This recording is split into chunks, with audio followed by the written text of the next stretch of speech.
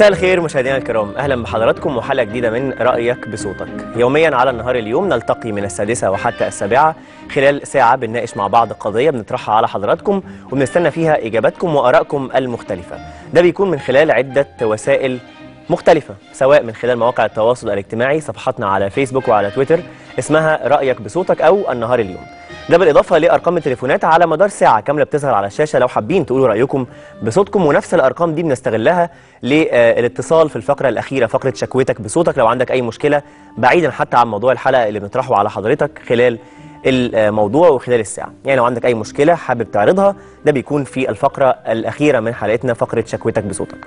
على أي حال النهاردة في حلقتنا من رأيك بصوتك بنناقش فيها هجرة الطلاب المخترعين للخارج.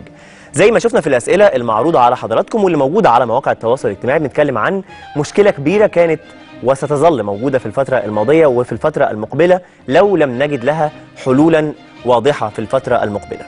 لحد إمتى هنلاقي دور الدولة مع المخترعين مسجل غياب؟ هو ده موضوع حلقتنا النهاردة عن إهمال الدولة للمخترعين. المخترع اللي مشواره بينتهي قبل حتى ما يبدأ بمجرد إن هو بيدخل لمكاتب التقديم للبحث عن براءات اختراع أو للبحث عن دعم مادي أو دعم حتى معنوي من المسؤولين في الدولة. إهمال جسيم واضح داخل الدولة لأن هي مش بتلاقي أو المخترع مش بيلاقي اختراعاته بتلاقي تشجيع مادي أو حتى أمل في نفوس المخترعين. ده بسبب إن هو مش لاقي اهتمام من جانب المسؤولين. المخترعين دول ما بيلاقوش أي حل قدامهم غير إن هم يتوجهوا بعروضهم أو باختراعاتهم أو حتى بأفكارهم لدول أخرى. ده اللي بان وظهر خلال الأيام اللي فاتت. دول بتبدأ تتبنى اختراع المصريين. النهارده شفنا في الأيام اللي فاتت مخترع من الدقهلية اسمه آه زي ما كلنا متابعين الصاوي آه المخترع المصري كان مصطفى الصاوي عنده فكرة من الدقهلية إن هو يقدم من خلالها أو عرضها وكلنا تابعنا حتى خلال الأيام اللي فاتت مع كل برنامج وكل القنوات المصرية كانت استضافت هذا المخترع المصري وبدأت إن هي توضح للمسؤولين هذا الاختراع. الاختراع ده مش شرط إن هو يكون أو أي مخترع عنده اختراع يكون إن هو اختراع يستحق الدعم ولكن لابد اولا من إن إحنا نبحث في كيفية أو أهمية هذا الاختراع بشكل جدي. بعد كده نبدأ نقرر هل يستحق الدعم المعنوي أو المساندة ولا لأ. النهارده بعد ما هذا المخترع مصطفى الصاوي لم يجد الدعم من الدولة توجه إلى الإمارات اللي تبنت هذا الاختراع وبالفعل حصل من خلاله على مسابقة أو على جايزة باعتباره أهم الاختراعات في الفترة الماضية وحصل من خلاله على جواز سفر إماراتي. ممكن تكون الموضوع دلوقتي يعدي بالنسبة للبعض باعتبار أن هي جت في الإمارات. ولكن في وقت من الأوقات ممكن نلاقي أن المخترعين المصريين اللي مش بيلاقوا دعم الموضوع يكبر مننا ونلاقي دول تانية من الدول الأعداء حتى وإن لم نكن آه نرغب في ذكر أسمائها هي اللي بتتبنى المصريين. هنيجي بعد كده نبدأ إحنا كالعادة بعد ما الموضوع يحصل نبدأ نتهمه بالخيانة ونتهم المخترع المصري بالخيانة وإنه بيبيع بلده ولكن في الآخر كالعادة هنحاول إن إحنا نبعد المشكلة عن المسؤولين أو المسؤولين يبعدوا المشكلة عن نفسهم يقولوا ما هو اللي باعنا مش إحنا اللي بعناه. لا المشكلة بتبدأ بالأساس من عدم الاهتمام بالمخترعين. ده اللي إحنا هنناقشه النهارده. عن كل مخترع مصري عنده اختراع من الشباب أو حتى من الكبار إزاي يتم توجيه هذا المخترع إلى الاتجاه الصحيح دعمه معنويا ودعمه ماديا حتى يفيد المجتمع ويفيد نفسه ما يبقاش في الآخر اللوم عليه. هنطلع لفاصل وبعد الفاصل هنناقش الموضوع ده بالتفصيل. هيبقى معانا بعض المخترعين المصريين وهيبقى معانا المخترع المصري نفسه مصطفى الصاوي وهيبقى معانا كمان المسؤولين إيه هو دورهم في المرحلة الحالية لدعم المخترعين؟ أسئلتنا كالتالي موجودة على مواقع التواصل الاجتماعي بنفكركم بيها. عن هجرة الطلاب المخترعين للخارج في رأيك؟ إيه رأيك انت في تبني دولة الإمارات لطالبين مخترعين مصريين في الأيام الماضية؟ لأن غير مصطفى الصاوي عندنا كمان قضية أخرى ظهرت مع المخترع أحمد الطماوي.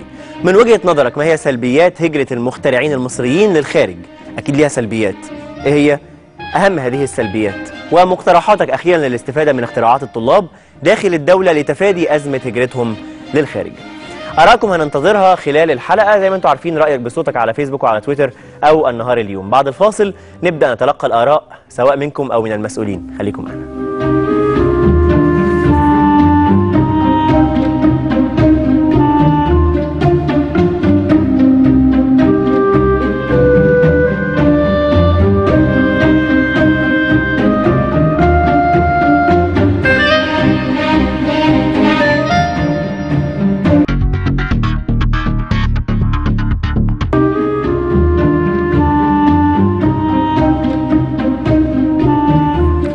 أهلا بحضراتكم من جديد مشاهدينا الكرام في الحلقة من رأيك بصوتك اللي بنناقش فيها هجرة الطلاب المخترعين إلى الخارج. خلونا نقول لكم بعض الأرقام المهمة جدا واللي فاجئتنا كلنا الحقيقة خلال الأيام الماضية. أهم رقم فيها هو الأول وبعديها بعض الأرقام اللي هتفيدنا النهارده وهنعرف بعدها رأيكم وآراء السادة المسؤولين في كيفية أو أسباب هجرة الطلاب المخترعين إلى خارج مصر. أرقامنا بتقول إن الاتحاد العام للمصريين في الخارج بيقول إن عدد علماء مصر في الخارج طبقا لهذا الاتحاد وصل ل 86 ألف عالم. يعني يا جماعة ده شعب شعب كامل موجود بره مصر من العلماء المصريين. رقم كان صادم الحقيقة هو كيفية الاستفادة من هؤلاء العلماء المصريين ليفيدوا المجتمع في الداخل. مصر بتيجي في المركز الأول في عدد العلماء على مستوى العالم. في مصر آه، عدد العلماء 1883 عالم مصري في تخصصات نووية.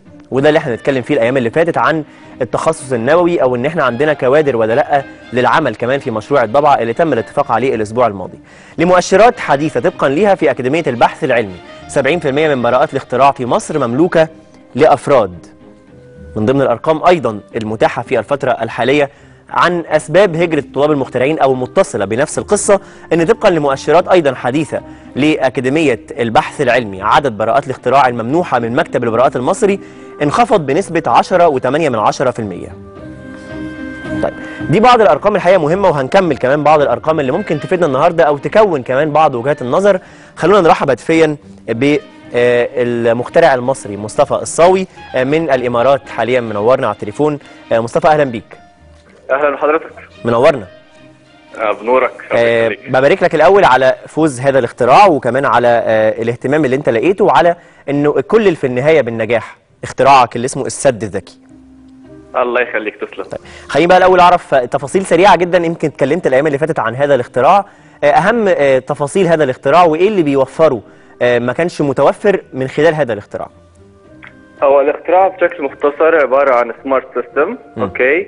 عبارة عن mix for 3 power hydro solar hydro solar و wind تمام. ولكن كل منهم معمول له technology معينة على حدة. okay؟ بحيث إن ال- ال quality بتاعتهم لما أجمع الثلاث آه، مصادر بيكون 33.1 giga per hour أكبر طاقة متجددة على مستوى العالم. انزين ولكن هي مش عملية جمع هي عملية آه، تطوير لل quality بتاع كل طاقة منهم بحيث إنهم يكونوا ب system واحد. التكلفة بتاعته أرخص من التكاليف الدولية. الثلثين بالنسبة لو أنا بعمل كل مصدر على حدة وبالتكنولوجيا العادية. تمام.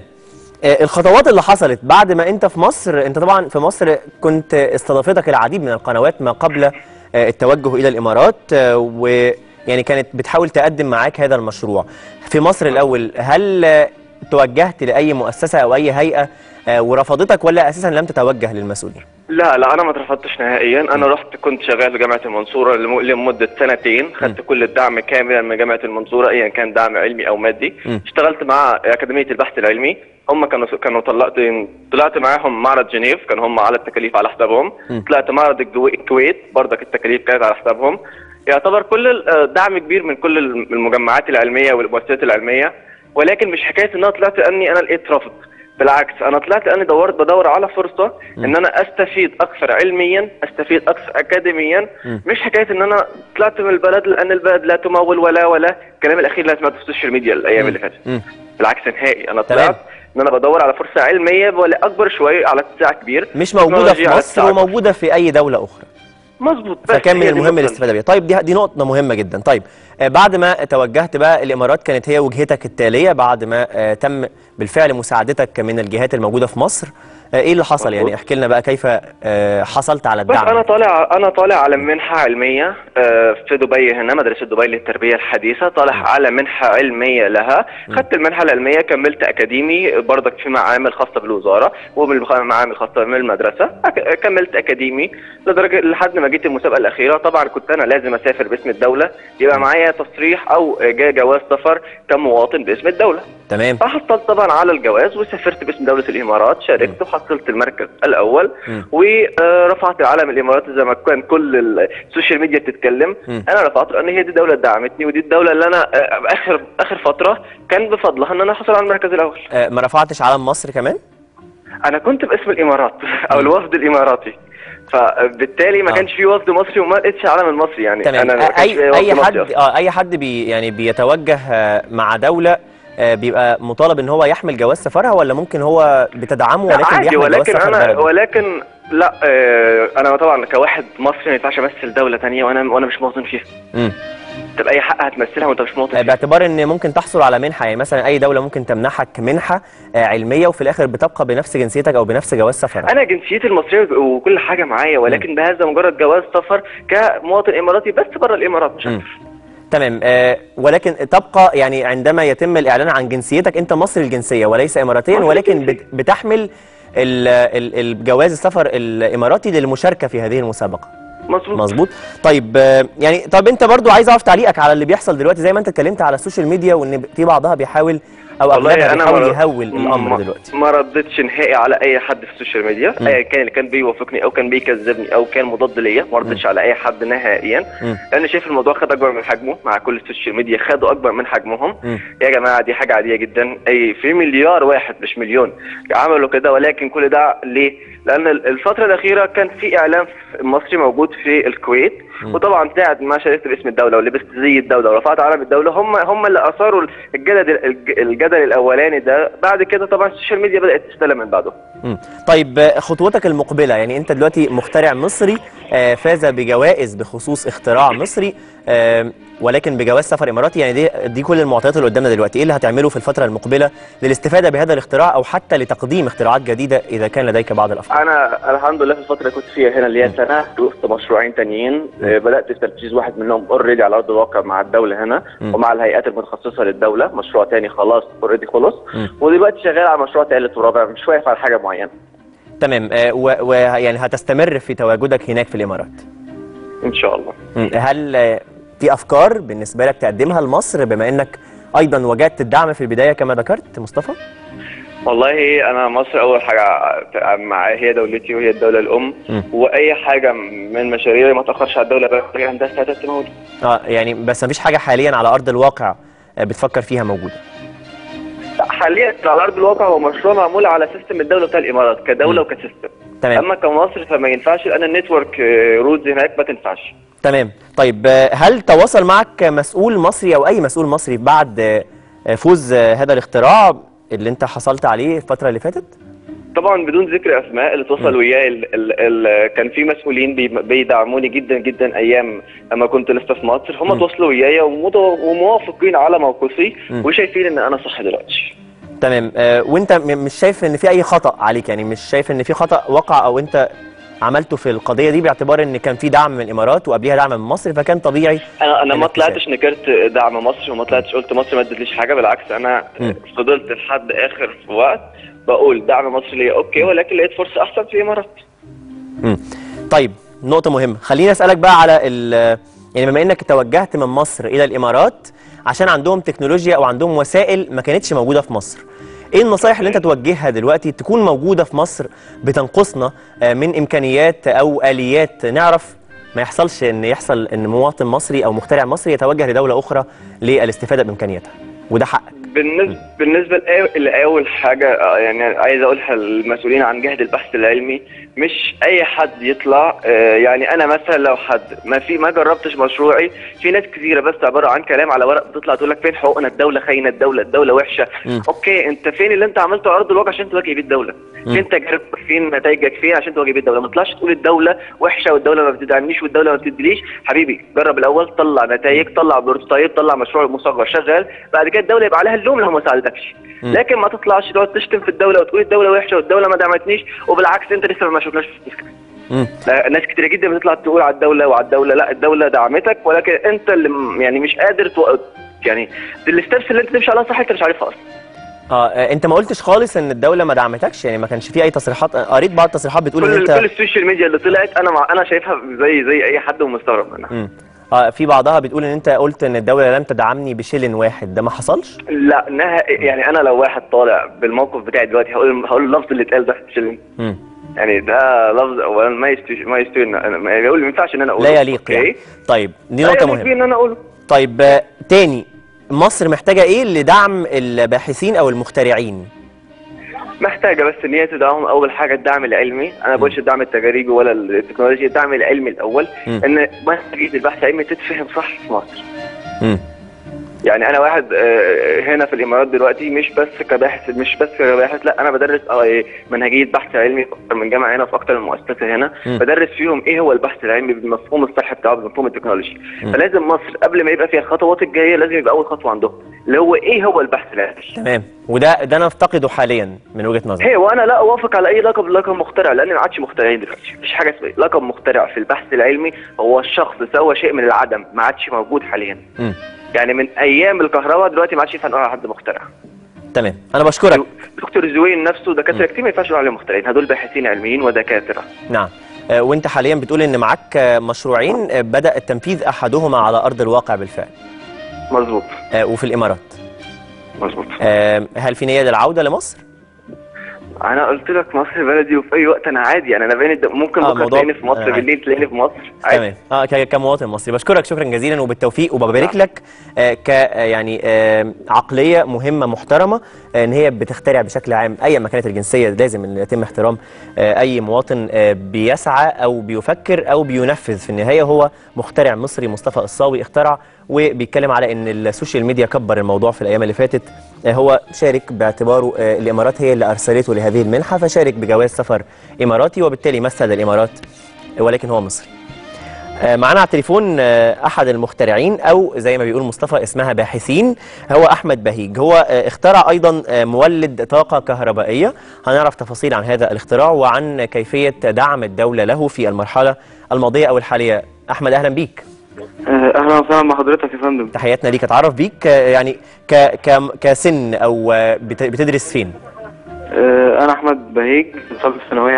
وحصلت على الميدالية الفضية من معرض انوفا فو- انوفا 15 من جامعة يوزن بماليزيا. آه، بدعم من حديد المصريين رجل الاعمال أحمد أبو هشيمة. آه، كممثل رسمي الدولة تمام. آه، أنا بس كنت عاوز أقول حاجة صغيرة جدا هو أنا موضوع مصطفى أنا بأيده جدا في كل اللي قاله هو ما اهانش الدولة. هو أعتقد إن هو اتبع نظام ال fund raising هم دعموه بحاجة معينة فهو كان طبيعي إن هو يطلع يتكلم باسمهم أو يقول. هو ممكن ما يكونش يقصد موضوع العالم ده قوي إن هو إهانة للعالم المصري بالعكس خالص. م. آه يمكن أنا أعرف مصطفى من فترة طويلة وهو مش في دماغه الموضوع ده خالص. وعلى فكرة مصطفى من أكتر ال- الشباب طلاب البحث العلمي اللي الدولة كانت بتدعمهم ماديا ومعنويا وكل حاجة.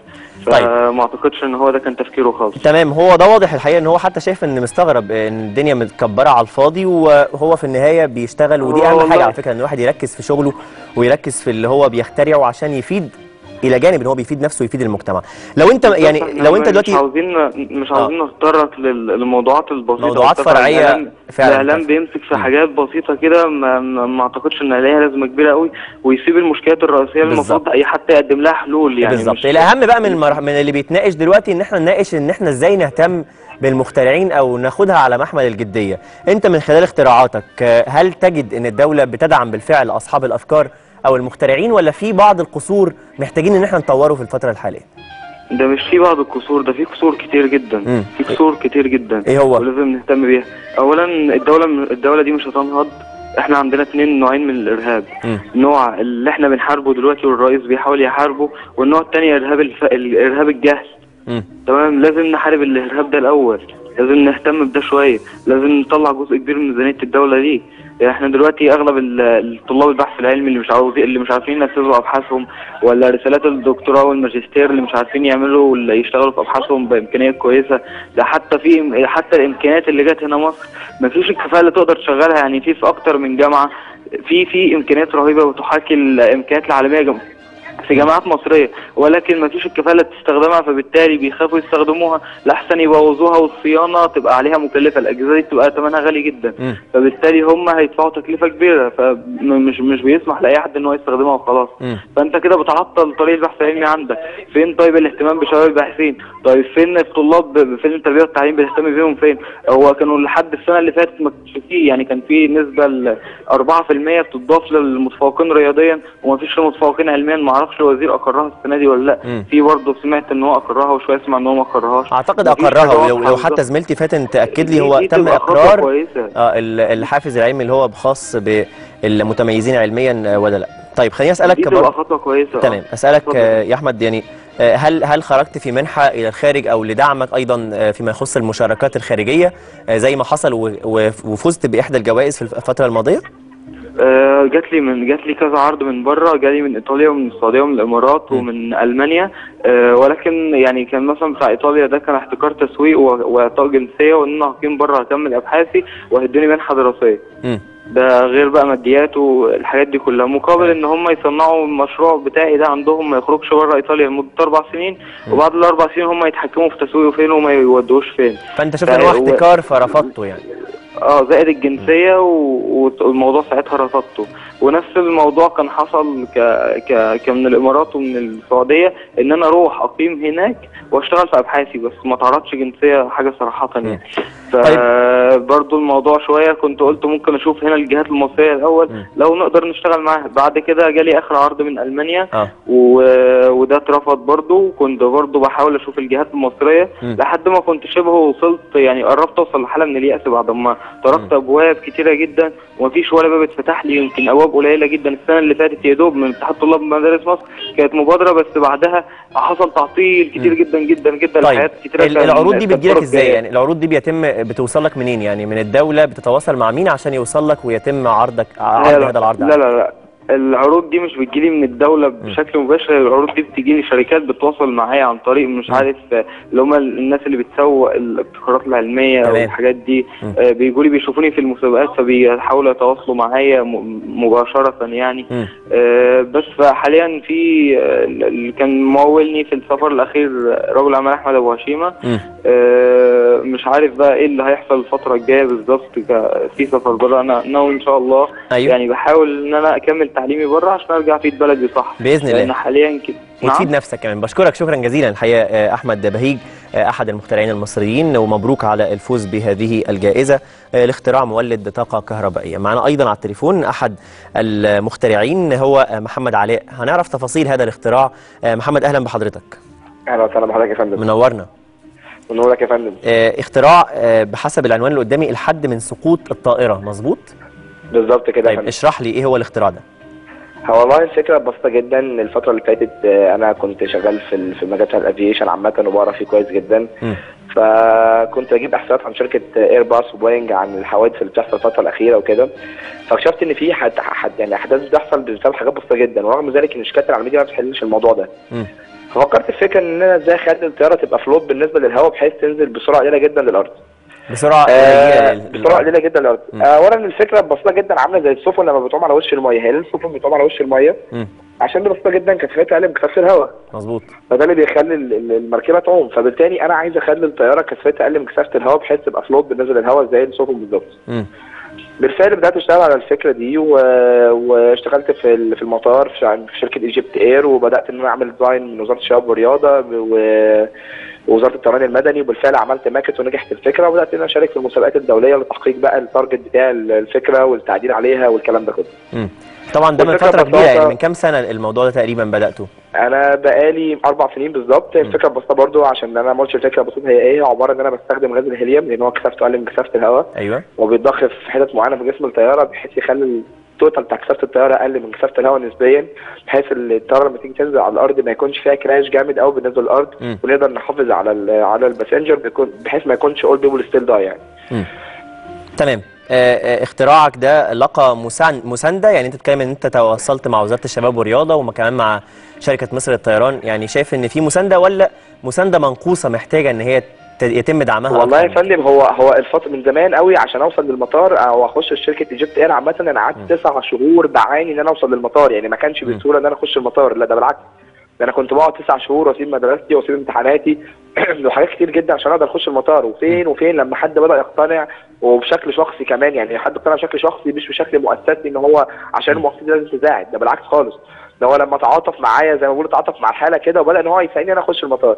ومجهودي الشخصي الشخصي بدأت إن أنا أثبت ده فبدأوا يكملوا معايا ال- ال- ال- التمني يعني. ده بالنسبة لشركة ايجيبت اير وزارة الشباب والرياضة برضو بشكل شخصي كنت بتوجه ليهم. كان في يعني هو صراحة الجزء الخاص برعايه الجامعات هو اللي كان بيساعد شوية. بس بس لما توصلت لكن لو بصيت لأهم جهه يعني حضرتك أنا بكلمك في في في في المطار وبكلمك في في وزارة الشباب والرياضة. لكن حضرتك لو بصيت لأهم جهة هي المسؤولة في دعم الباحثين وهي وهي أكاديمية, أكاديمية البحث العلمي. ده ده مش موجود أصلا. يعني يعني خليني أقول لك أقرب موقف يعني معاناة أنا لسه من من بالظبط من ثلاث أيام قبل الكايرو انوفيت أنا كنت بحاول أقابل رئيس الأكاديمية. يكفي إن آه، مدير مكتب نائب الرئيس الأكاديمية بيقول لي ده نائب الرئيس الأكاديمية عشان يقابل رئيس الأكاديمية بياخد بعد قبلها بأسبوع. أنت متخيل اللي بيحصل قال لك إيه يعني بعد أسبوع؟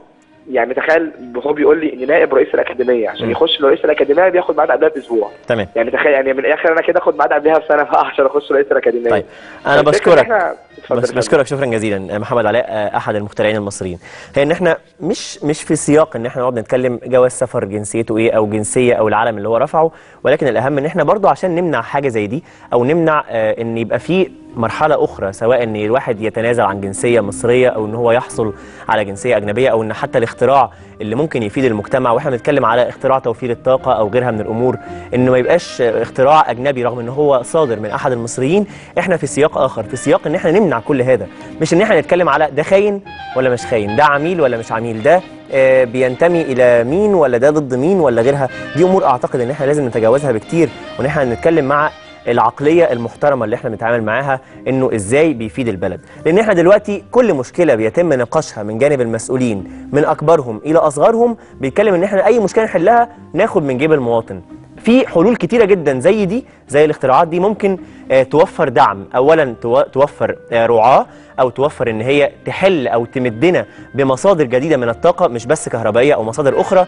هتوفر إن إحنا نعالج أو نحل مشاكل المواطن البسيط من غير ما ناخد من فلوسه ونقدم له مشكلة. لا إحنا ممكن من خلال هذه الاختراعات نخدمه من غير ما هو يتكلف أو حتى من غير ما نكلف الدولة آه، فلوس أو أتعاب أخرى.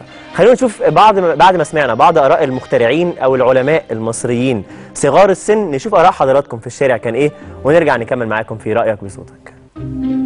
اولا آه، دولة زي الإمارات دولة متقدمة متحضرة. خلاص هم وصلوا لل... لل- للعالمية في كل حاجة دلوقتي تقريبا. يعني دلوقتي بتوازي الدول الأوروبية في كل حاجة في الاقتصاد بتاعها في ال... في ال... في الوضع الاجتماعي في البنية التحتية. إحنا هنا مشكلتنا في مصر إن إحنا لسه عندنا الأساسيات كلها مش متظبطة طبيعي. فما حدش فاضي دلوقتي إن هو يشوف الاختراعات وللأسف الشديد يعني طبعا دي حاجة مش كويسة آه، لأن إحنا ما عندناش أساسات نمشي عليها. خلاص هم وصلوا للقمة في كل حاجة فأصبح دلوقتي عندهم جو الابتكار ده موجود.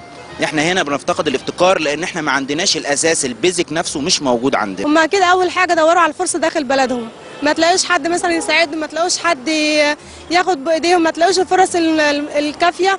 فتلاقوا دول تانية بتحتضنهم. بت- بتحترم الإنسان كأنه شخصية فبيخترع حاجة فبتحترم اختراعاته وبتحترم الشخص عامة. فالإنسان خلاص بقى وفي لسه في بداية حياته ما عندوش حاجة يضحي بيها. يعني هو مثلا ما عندوش مثلا أموال يصرف على الاختراع بتاعه عشان الدولة ما ساعدتهوش. أكيد هيروح لدولة تانية وان هي هت آه، تهيأ له كل الفرص وفي النهاية برضه هيبقى مصر. إحنا أولى بيهم بأي مشاريع أو أي تفكير بيهم واي حاجة بيهم. إحنا بلدنا أولى دلوقتي النهارده بأي حاجة آه، نستفاد بيها هنا. إن هم يعملوا مكان لكل واحد عنده اختراع وكل واحد عنده فكرة ويعرضها وده كله ويساعدوهم. يعملوا أماكن للحاجات دي منها ممكن تتباع. حتى لو حاجة بسيطة خالص لو جاي لو اتباعت فهتبقى فرصة كويسة برضو أي حد يخترع حاجة الدولة تتبناها. وزارة البحث العلمي رئاسه الجمهورية رئاسه الوزراء أي حد يتبنى الناس دي يا جماعة عشان العقليات دي. دكتور أحمد زويل اللي وداه أمريكا؟ دكتور مجدي يعقوب اللي وداه بره وناس كتير ودكتور الباز اللي وداه بره الناس دي ما راحتش الإمارات من فراغ الناس دي راحت الإمارات عشان ما لقيتش اللي يقف جنبها في مصر. مصر مليانة عقليات تخلي البلد دي تنهض في الاقتصاد وفي السياسة وفي العلم وفي كل حاجة وفي العلوم. إيه اللي يخلي دول يخرجوا بره طيب دي كانت بعض آراء المواطنين بيتكلموا على أهمية إن الدولة تدعم ويمكن ده ما نفهوش بعض المخترعين ونفاء البعض الآخر. فعشان كده معانا على التليفون دلوقتي الدكتور محمود صقر هو رئيس أكاديمية البحث العلمي. دكتور محمود أهلا بحضرتك. أهلا بحضرتك يا فندم. مساء الخير. مساء النور منورنا ويمكن في ظل هذه المرحلة من فكرة الخبر اللي انتشر الأيام اللي فاتت على المخترعين وعلى هجرة المخترعين وعلى الدعم اللي ممكن يحصلوا عليه في الخارج وما يحصلوش عليه في الداخل يعني تعليق حضرتك كرئيس لأكاديمية البحث العلمي أهم منظمة خاصة برعاية المخترعين نعم مم. الأول أنا بشكر حضرتك يعني على التقارير واللقاءات مع المخترعين مع مصطفى وأحمد ومحمد علاء ومجموعة كبيرة جدا من الشباب المتميز مم. وكمان بعتذر عن الأخ اللي قال إن ان إن نائب رئيس الأكاديمية عايز أسبوع عشان يقابل رئيس الأكاديمية أنا مم. بقالي أسبوع قاعد في قصر بارون عشان معرض القاهرة الدولي الثاني اللي بتكرر بقابل الناس كلها مم. على أي حال مش ده الموضوع ده ده كلام. أحد المخترعين يعني محمد علاء آخر آه، المخترعين هو آه، اللي ما أنا قال بقول ده اخد المخترعين آه. محمد علاء بالتحديد يعني. آه آه عايز أقول لحضرتك على حاجة الأول آه الاختراع ودعم الابتكار. والبحث العلمي مسؤولية مجتمعية لأن الابتكار بيبتدي أو الفكر العلمي أو التفكير العلمي بيبتدي من أول التلميذ أو الطفل وهو في الحضانة. لغاية مرحلة التعليم الإلزامي كله. يبقى كده اتكلمنا عن التعليم آه، قبل المدرسي المدرسي الإلزامي التعليم الجامعي ثم البحث العلمي ده آخر حلقة في المنظومة. واخد بال حضرتك إزاي؟ آه، بعض الزملاء يمكن مش ملمين بال- باللي موجود في الدولة. يعني أنا مستغرب جدا هم بيتكلموا الدولة ما عندهاش آليات أو طرق لدعم واحتضان المبتكرين والمخترعين. في حين إن الوقت اللي إحنا بنتكلم فيه ده حضرتك ده معرض القاهرة الدولي الثاني للابتكار مم. كان معروض فيه ما يقرب من 120 ابتكار حتى أنا شايف في التقرير والخلفية اللي ورا حضرتك. أحد الابتكارات اللي هي كانت فكرة اللي عرضت في معرض القاهرة الدولي للابتكار السنة اللي فاتت والسنة دي الفكرة دي تحولت إلى منتج موجود في الأسواق.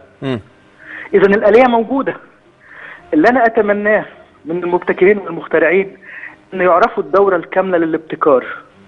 يمشوا من خلال النظام اللي هو يقدر فكرته يطورها يحميها وبعدين يتحقق من الفكرة من خلال نموذج أولي وبعدين يبتدي في التسويق. والمسؤولية المسؤولية كاملة بتقع على عاتق المخترع ولا الأكاديمية ليها دور أو حتى المسؤولين في الدولة؟ هم يتواصلوا معاهم. لا لا بص حضرتك أنا مم. لا أبرئ الأكاديمية. الأكاديمية دورها أساسي. مم. الأكاديمية دورها أساسي. بس لازم حضرتك أنا بس عايز أوضح حاجة بسيطة جدا جدا جدا. ده صور من معرض القاهرة الدولي الثاني للابتكار. أنا ما شفتش المبتكرين دول في المعرض. مم.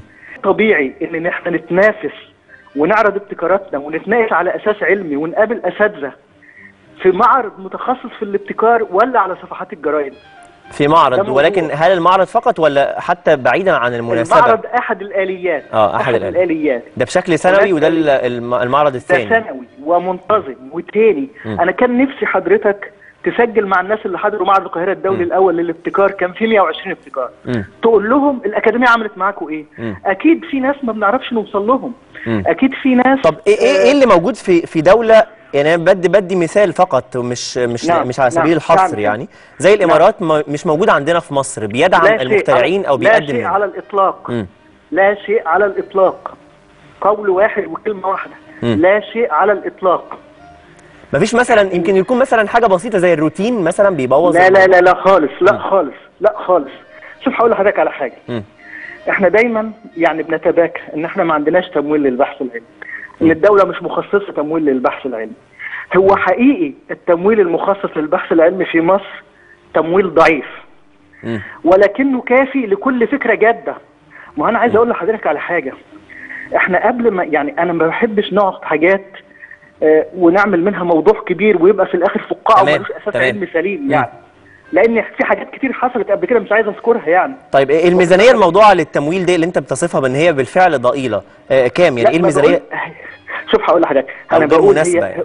غير مناسبة آه. ولكنها كافية تمام. لما يكون في اختراع حقيقي حقيقي على أساس علمي رصين وبيتم حساب في معايير عندنا من خلالها بيتم طبعا. حساب في ده؟ معايير. آه ده حقيقي ولا مش في حقيقي؟ معايير. من آه طبعا عندنا معايير بس آه. مش من ضمن المعايير التردد على مكاتب المسؤولين واتصور معاهم ده هيبقى معيار إنه يبقى ال- ال- الابتكار بتاعه طب ممكن نقول في. نقاط إيه هي المعايير أيوه يا فندم آه. أقول لحضرتك المعايير اتفضل. دي مش مش معايير مصرية مم. دي معايير المنظمة الدولية للملكية الفكرية مم. قانون البراءات بيقول إيه كل فكرة على أساس علمي سليم مم. تتميز بالج- بالجدية وقابلة للتطبيق الصناعي تعد ابتكار مم. أنا ممكن تبقى عندي فكرة كويسة جدا. واخد بال حضرتك إزاي؟ أيوه. لكنها غير قابلة للتطبيق الصناعي. مظبوط. أو مش قائمة على أساس علمي سليم. في ثلاث عناصر في الموضوع ده لأي فكرة. واخد بال حضرتك إزاي؟ ثلاث عناصر. العنصر العلمي هو الأساس. مم. لا أنا ولا حضرتك. لو بنتكلم على السد الذكي مثلا بتاع مصطفى ده على سبيل المثال. أنا كرئيس أكاديمية أنا أقدر أقول الكلام ده على أساس علم رصين ولا أساتذة كلية الهندسة بتوع تمام الإنشاءات آه أكيد أكيد بالفعل. آه. العلم العلم هو اللي بيحدد. طيب، السؤال الأخير الجدوى هل- السؤال الأخير الاقتصادية. ولكن آه، عشان عشان وقتنا. اتفضل. لا دقيقه واحدة. عشان. وقتنا. اتفضل يا فندم. طب اتفضل حضرتك. أنا بس عايز أقول حاجة. الجدوى الاقتصادية. لما أنا أقول هعمل مثلا مش عارف سد مساحته 600 كيلو متر مربع في البحر. هل ده اقتصاديا؟ المفروض ناس تقول. أنا لما قابلنا مصطفى وغيره وغيره وغيره كانت نصيحته له تقدم بطلب براءة اختراع وهو تقدم بالفعل بطلب براءة اختراع مم. الموضوع لا يعدو غير إن طالب حصل على منحة دراسية في الخارج مم.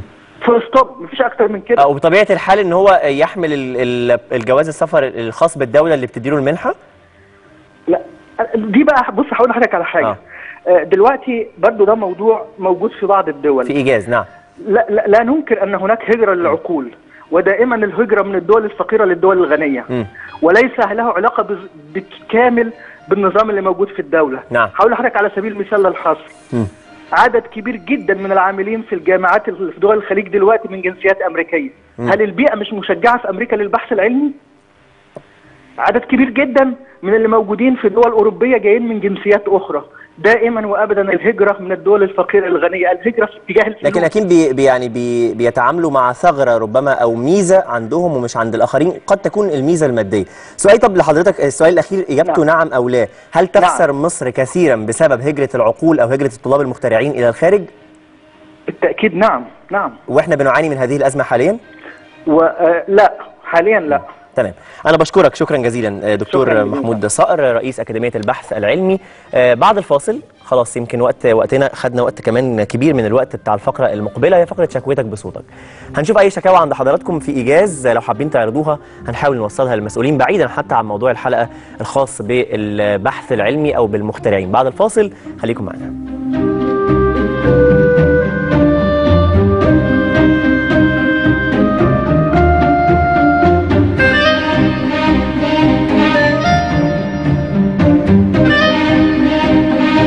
شكاوى آه، من أستاذ رضا من القاهرة. أستاذ رضا أهلا بحضرتك. أهلا بيك يا فندم. اتفضل اعرض مشكلة حضرتك سريعا. حضرتك أنا اسمي رضا ويليام من رود الفرج مدير آه، محطة بنزين تعاون رود الفرج. أهلا تمام بيك. اتفضل. أهلا بيك. أنا كنت بخوض انتخابات مجلس النواب الأخيرة والانتخابات خلصت وما كانش ليا نصيب. فوجئت يوم الخميس الصبح السيد محافظ القاهرة الساعة 7 صباحا بي- بيمر في شارع رود الفرج وقال غلق محطة البنزين. ليه اتغلقت محطه البنزين بيقول لك عشان قدام منها كشك بيبيع سجاير وبيبس وبراميل واقفه بعرض الطريق آه، جه السيد رئيس الحي أنا اتكلمت معاه قلت له ألو سامعني حضرتك؟ أنا سامعك اتفضل يا أستاذ رضا آه. جه السيد رئيس الحي بيتكلم قلت له أنت الكشك بتاع السجاير ده من أيام الثورة وإحنا مالناش دعوة بيه وبالنسبة للبرميلين اللي محطوطين دول البرميلين دول عشان الأمن حاططهم عشان في 5000 توك توك في رود الفرج. ما حدش عارف يسيطر عليهم ولا أنا جوه محطتي عارف أسيطر عليهم. فدول الامن حاططهم عشان يعمل لهم طريق يدخلوا منه. فوجئت إن السيد المحافظ إدى طرائق بغلق المحطة. طب أنا معلش بس وضح لي يمكن يكون في نقطة واقعة مني أنا. آه هو في مشكلة في وجود كشك يقفل المحطة ولا يقفل الكشك؟ يا باشا ما ده اللي أنا مش عارفه. يعني هو القرار كان بسبب وجود كشك أمام المحطة فقفل المحطة ما وضحها لي. أكيد في حاجة ناقصة. في قال عشان في كشك قدام المحطة. وده اللي قاله رئيس الحي وعشان في براميل قدام المحطة لدخول التوك توك. طيب إيه م- إيه م- يعني إيه برضو الربط؟ إيه العلاقة بين الناحيتين؟ بين إن في محطة وفي. كشك وبراميل. أه، حضرتك أنا يعني أنا موضوع رئيس الحي بنفسه قال لي أنا عارف إن أنت مظلوم. امم قلت له طب مظلوم حللي. قال لي المحطه اتغلقت وأختاروا مديرية تموين القاهرة. أختاروا الجمعيه التعاونيه اللي بتقول وقفوا البنزين. عندي عمال قاعدة من غير شغل. مم. عندي منطقة بتغذي في حالها. وقرار أنا أنا بستغيث بالسيد رئيس الوزراء. بقول طيب له عشان خاطر رئيس آه. الحي اللي هو مين اللي قال لك إن أنت مظلوم؟ رئيس حي رضا الفرج؟ الحي- آه طبعا. قال لي قال لي أنا عارف إن أنتوا مش حاجتكم دي. طيب. حضرتك شايف أنا مش آه يعني هو كان كان الاتهام إن دي تبعكم الكشك ده والبراميل دي تبعكم تبع البنزينة فتم بالظبط كده بالظبط. تمام طيب. آه قلت له طب كلم السيد المحافظ قول له الكلام ده. طيب إحنا هنوصل المشكلة سواء لرئيس. الحي أو للمحافظ محافظ القاهرة. بشكرك شكرا جزيلا. ده كان بعد الانتخابات مباشرة آه وأنت كنت أحد المرشحين. معنا على التليفون أستاذ حسن من العمرانية. أستاذ حسن أهلا بيك. أيوه بيه. أهلا أستاذ حسن اتفضل اعرض مشكلتك سريعا. طب ماشي. أنا حقيقة بصدري بقى 20 سنة وعامل مش موظف. وبعدين مش موظف أنا. مش موظف تمام. مش ما فيش حد بيقعدني. الله ربنا. وبعدين وأنا نازل على السلم من ست أشهر من رمضان. رحت واقع اتكسر المفصل الشمال. وحوض المية. ورحت عملت عمل هي أهل الخير يعني خدوني ودوني المستشفى. وعملوا شرايح ومسامير وبتاع فأنا دلوقتي بتوجع مش قادر أروح هنا ولا هنا. وعاوز أنا علاجي وعاوز حاجة أكل منها عيش. حضرتك يعني إيه إيه نوع الإصابة الحالية اللي عندك أو المشكلة اللي عندك المفصل الشمال مم. رجلي الشمال مش قادر آه ده محتاج عملية يا أستاذ حسن لا يا بيه ده علاج آه محتاج علاج. مستديم. آه والعلاج. آه، العلاج يعني تكلفته حضرتك غير قادر عليها ولا ولا بدأت فيه؟ أنا أنا أساسا ما بشتغلش ومش موظف. آه. ماليش معاش طيب ولا ليا طيب آه عندك كام سنة حضرتك؟ أنا عندي 61 سنة. كام سنة حضرتك؟ 61 سنة يا بيه طيب آه 61 سنة. طيب آه، حضرتك بت- بتبحث عن وظيفة عشان تساعدك في توفير العلاج أو إنك تعرف تعيش يعني. آه آه. تمام. أتوظف. تجيبوا لي توك توك تجيبوا لي تروسيكل أك... أكل بيه لقمه عيش تمام. حضرتك إيه؟ من من العمرانية يا أستاذ حسن؟ ست حاره عجمي متفرع من شارع الأسد. عمران الغربية. طيب أنا بشكرك. شكرا جزيلا يا أستاذ حسن وألف سلامة على حضرتك. والمشكلة آه، بنرسلها كمان لأي حد حابب إن هو يوصل أو آه، يعالج أو يتكفل بوظيفة ربما أو مساعدة من أهل الخير للأستاذ حسن. آه، هو مصاب بسبب سقوطه في مفصل اليس- اليسار لقدمه اليسرى. ألف سلامة على حضرتك وهو بيبحث عن وظيفة أو أي مساعدة. للعلاج.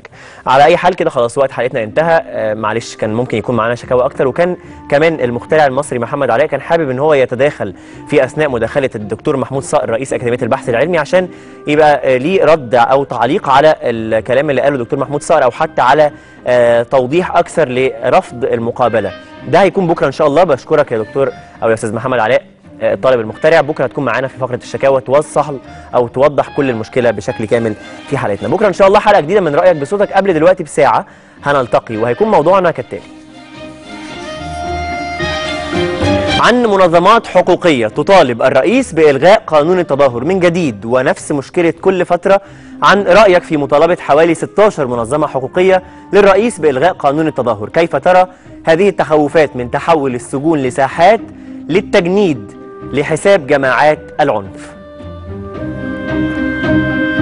هل تعتقد أن الظروف الحالية للبلاد تسمح بذلك الآن أم لا تسمح؟ بشكل عام رؤيتك لقانون التظاهر هنسأل بعض الحقوقيين وهنسأل بعض أصحاب هذه المنظمات ورأيهم ورأي حضرتك مهم جدا في قانون التظاهر بشكل عام وكيف يتم إلغاؤه أو هل بالفعل من الممكن أن يتم إلغاؤه؟ ده بكرة إن شاء الله. حتى نلتقي غدا. تقبلوا تحياتي وتحيات فريق العمل. في رأيك بصوتك على النهار اليوم. إلى اللقاء.